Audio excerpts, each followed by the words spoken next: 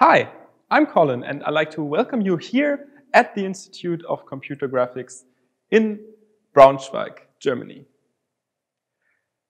Our team is involved in many areas of computer graphic research, such as virtual reality. Of course, in virtual reality, there are a lot of important things to focus about, but today we like to focus on cyber sickness in 360 videos. Today, most people know or have at least heard of the technology of VR. A lot of people use their VR glasses to play games with it because it's really cool. You have this depth, you have this immersion, and it's really not like traditional gaming. But VR has a lot more to offer. Imagine this. You went on a skiing holiday, and instead of the normal camera you always installed on your helmet, used one of the available 360 cameras. And now you're back at home and you want to experience this feeling again, how it was on the slope. And instead of showing it or looking at it on a normal monitor or TV, you can look around in the video. You can feel this immersion again by using VR glasses and these 360 recordings. Unfortunately, many people experience cyber sickness when they stay in VR too long. Cyber sickness can be everything from dizziness over blurred vision up to nausea. And it is caused by a mismatch if what you see doesn't match what you feel with your body.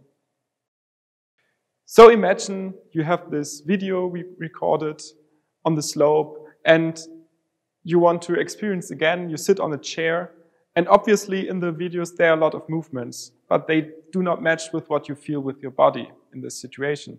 And this beautiful holiday video will most likely make you sick. But we can do something about this. To fight the problem of cyber sickness, we manipulate the single video frames before we show them to the user in a way that is easy and fast to do. We designed the manipulation so that the user perceives them as little as possible. For this, we use eye tracking beside the movement data of the camera in the scene. So for every point in time, we analyze where does the user look at and then only manipulate the outer regions of his view, so the peripheral area. In particular, we do one of two things. The first one is blurring the outer parts of the view. And the second, fully graying out the outer regions. So we always consider the eye gaze of the user and move the center of the restrictors together with the eye movement. So what we only manipulate are the outer regions of the view where mainly motion is perceived. But cyber sickness is not always perceived at the same degree. If you watch a video where a lot of movement is in, then you get sick faster.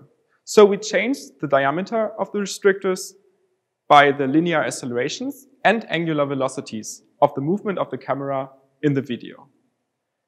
And to capture these linear accelerations and angular velocities, we used the built-in gyroscope of the 360 camera. In our experiment, we showed multiple 360 videos to our participants. In the videos, the camera is moving a lot, and of course, because there are 360 videos, one can look around freely in the video at any time. The videos themselves showed scenes of parkour running and wall climbing with falls up to 5 meters.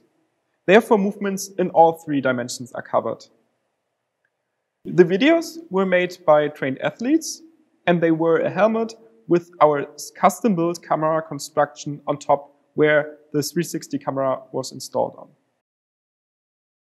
Moving camera recordings are used in our experiments because they are well known to get people sick, and especially when the movements in the video are fast. It was our goal to get most of the people sick, especially in the ground truth condition, to have a better comparison when we apply the manipulated scenarios. To measure the level of sickness, we used both questionnaires and the physiological body data of the participants. The participants self-assessed how sick they have become with the SSQ, the Simulator Sickness Questionnaire, that was filled out once before and after the experiment.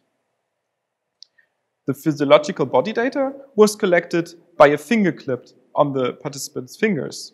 In particular, we measured the heart rate and electrodermal activity, or short EDA, which is also known as skin conductance.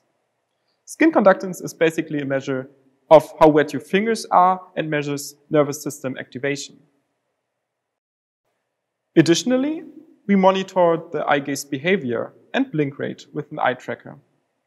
For that, we used a consumer-grade head-mounted display with integrated eye tracker. The experiment was performed with three sessions per participant, each of the sessions on a different day and with 48 hours in between. The sessions only differed in how the videos were manipulated. So once we showed the participants the original video without any manipulation, then we showed them the video with a blurred peripheral area, and then again, we showed them the video with fully grayed out outer regions. Of course, the order of these three sessions was random. In the experiments, our participants sat on a chair for the whole time and they were not allowed to move, except for their head. All video clips together had a length of around 10 minutes, but of course, if participants get sick, they were allowed to quit the experiments as soon as they wanted. In total, we had 19 participants who completed all of the three sessions. Yeah, the parkour video for me was especially uncomfortable um, but uh, with the visual techniques, it was considerably better. As a climber, I can definitely say it makes a huge difference if you're just playing a climbing game on a PC or if you're actually playing it uh, in VR with the visual uh, methods that were implemented here. So it makes it a lot, lot more realistic. So let's talk about our findings. Our results show that both visual techniques are effective to mitigate cyber sickness for 360 videos.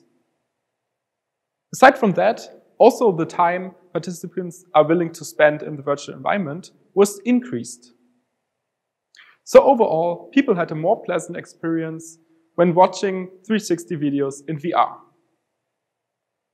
Furthermore, we found out that the opaque occlusion with a dynamic radius is most efficient to improve the SSQ score and the time people spend in the virtual environment. But also blurring of the outer regions shows a positive effect and is especially interesting if we look how long people spend in the virtual environment. So we can say that the efficiency depends on how much the movements are removed from the peripheral area. If we look at the single subscores of the SSQ, we can see the same trend for all the single subscores compared with the total SSQ score. The ground truth condition has the highest sickness value, while the opaque occlusion achieves the best sickness reduction. Especially nausea and disorientation should be considered if one is designing an application with 360 videos in VR. The results of the body measures mostly confirm the questionnaire results. The ground truth condition has the highest values for most of the time, especially for EDA, while our manipulated scenarios show lower values. The participants' eye gaze behavior did not change between conditions, which means that our visual techniques are unobtrusive and did not distract them. Former research found out that cyber sickness affects women much more than men. So when we analyzed the performance of our methods, we also separated men and women. In our experiments, the women felt more sick, at least for the unmodified ground truth scene. But when we then applied our field of view modifications, the sickness level dropped and is on the same trend for both genders. So the results show two things. First, the techniques are much more efficient for women than they are for men, with a reduction by half of the average SSQ score. And second, the methods open up a way for a more streamlined experience across all genders. So in summary, Both visual techniques are effective to mitigate cyber sickness for 360 videos in VR. And especially women can benefit here, as VR is now even more universally accessible for everybody. Thank you so much for watching.